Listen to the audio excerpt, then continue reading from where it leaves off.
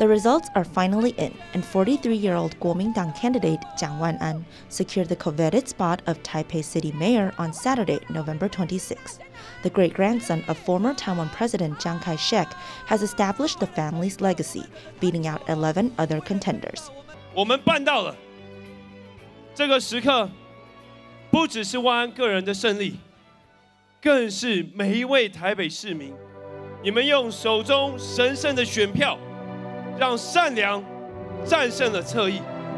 In particular, Chiang defeated strong candidates including Democratic Progressive Party DPP candidate Chen Shizhong and independent candidate and former Taipei deputy mayor Vivian Huang.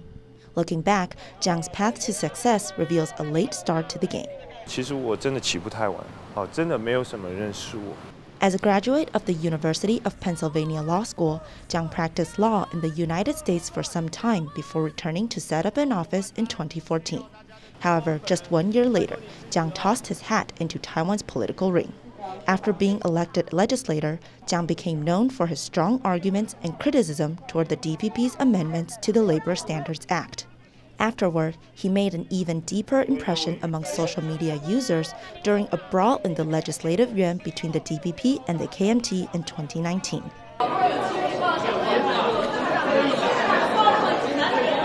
On that day, the KMT was protesting against the voting in of Li Jingyong as Central Elections Commission CEC chairman.